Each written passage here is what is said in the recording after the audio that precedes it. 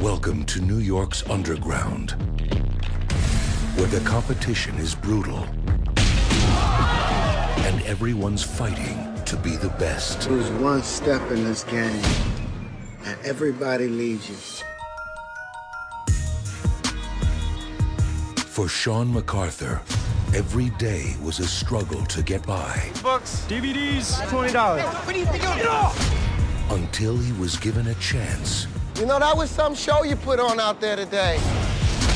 to be something more. You like to fight? If I have to. I can make you $5,000. Got you interested, huh? So what, they got rules? Or? Yeah, if you lose, you get nothing.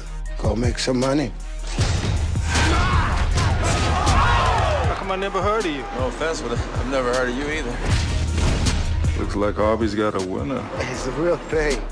I'm Shawn. Zulay. Like July? Yeah. Make sure she gets home okay. Thank you, Shawn. Oh, you called me Shawn. Good. Good night. Now, every fight He's a big dude. Don't get too close. Yeah, thanks for that. brings him closer What are you doing here? I was just walking by, you know, for the past two hours, hoping to show up. to the life he's always wanted. Where are we going? We're in a $100,000 Mercedes. That's where we're going. But everything has its price. Those guys, they run this whole city. We lost a lot of money betting on you to get beat tonight. Well, maybe you bet the right way next time. This spring, Maybe we should put your man in one of our fights. A big fight. Half a million dollars to the winner.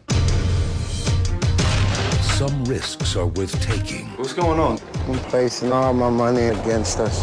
Some dreams Why would you do that? We're talking real money. Are worth fighting for.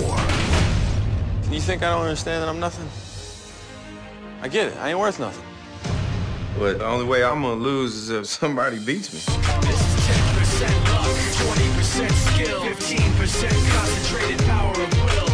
Don't make us come looking for you. You don't scare me.